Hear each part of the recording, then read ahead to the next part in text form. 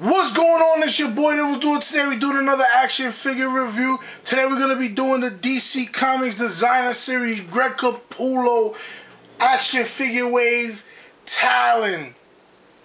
As you can see, he is the number two in the series, Batman being number one. Um, you guys already seen my Nightwing review. Uh, these figures are really dope, man. I really recommend all of these guys. And yes, even in even the Riddler, man. You need the Riddler.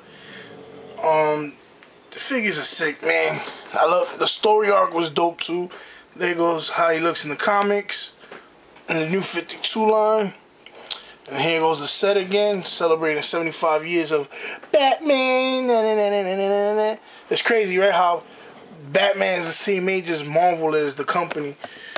And then, again, you already know, I already opened all these dudes. So let's just get this dude open real quick, see what we're working with.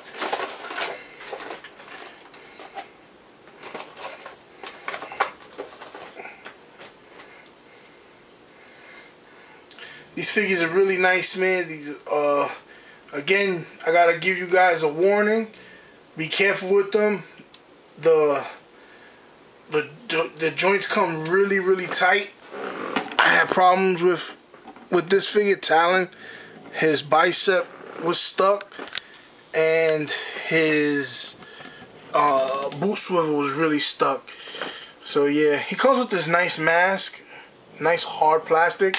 Sounds like a almost like bone maybe. He comes with two blades, which you see here. These blades, one of my blades broke and I glued it back together with the nail glue that I told you guys about in um, the Nightwing review. Uh, the daggers do come out of their sheaths. See, he can use them. So he has a lot of, lot, a lot of accessories, man, which is really cool. Um, his sheath on his back came, they came split open. They were they weren't completely glued, so I took care of that. Again with the nail glue, it comes with these two short short ninja blades. Very nice looking. Nice man. The detail is cool. The hilts are nice.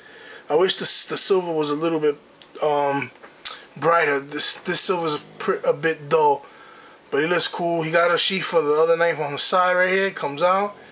The scope work is nice. The line work is good. Uh, um, not much to complain about here, other than the paint jobs. The paint jobs on all the figures were pretty uh, sporadic. Some some were good. Some had some splotches here and there. So um, I don't know. I guess I guess it was where I got it from because I, I got a choice of what I wanted. And from looking at everything, these were the best ones that I got. So um, he's a really good looking figure. I love the detail. Uh, there's nothing else to say, man. This is this figure doesn't disappoint. Look at his owl gauntlet, and then he has uh, a gauntlet with throwing needles on this side. Nice knuckles. Sword is cool. His visor is sick. I love it.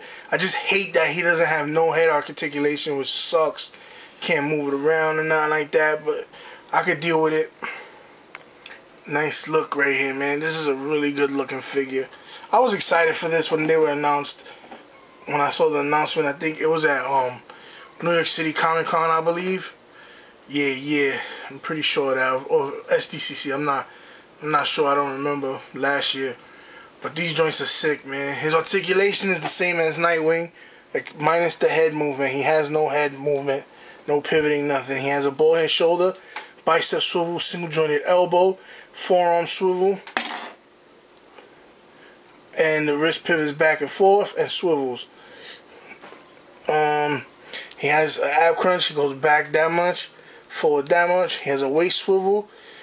These like the gaping cross pits again with the brittle plastic. He has the hip, the nice hip joints. They don't kick up high, which is kind of a bummer, but it kind of sucks, man. But it is what it is. These are really good figures. He has an upper thigh swivel, double jointed knees. He has a boot swivel, and a, I mean, a, yeah, boot swivel. Sorry, an ankle swivel, and then ankle pivots back and forward. His sheath just came out, so I gotta glue that now. This figure is, man, this figure is really good. I do recommend, again, this whole wave. You have to get this whole wave, bro. You will not be disappointed. You will not be disappointed. The paint issues are not that serious. They, the paint, again, though I, I say that the quality control in the paint is spotty, it is way better than what we've been getting lately from Marvel Legends. So it's not really that much of a, of a big deal. So again, man, just get this whole wave. This whole wave is what it is, man. It's what's up. This is this these won't disappoint. They they're about six and seven fifths of an inch, almost seven inch figures. So they will be slightly taller than your average um DCUC figure. They will not fit in with that line, but they go well. They go pretty well with some Marvel Legends. Maybe they they just come out. They come out taller. Like they're all taller than the other figures and stuff. And um, which it kind of does suck, man, because these would go really dope with um DC Universe Classics, but here's a comparison. See, that's DCUC Steel. Look how tall he is. Damn, and they're almost there. It's just like those guys would be all like seven footers. He goes, these go more in scale with like the the the Mattels. See, like that. The WWE Mattel Elites. But these joints are sick, man. I really recommend them. Cop them. The best ones on the line are again Nightwing, Batman, and Talon. But you gotta get the Riddler though. You can't just leave them there to suffer. So that's my review, man. Thanks for stopping by. Hit the like button if you like it. Subscribe if you haven't. I don't know what you're waiting for. And just holler at me in general, people. You know what I'm saying? I'm here. I'm here. And I'm trying to get the Comic Con this year. Uh, follow my Twitter, my Instagram, like my Facebook page. All the links in the description below. And just get at me, people, generally, man. Holla. One.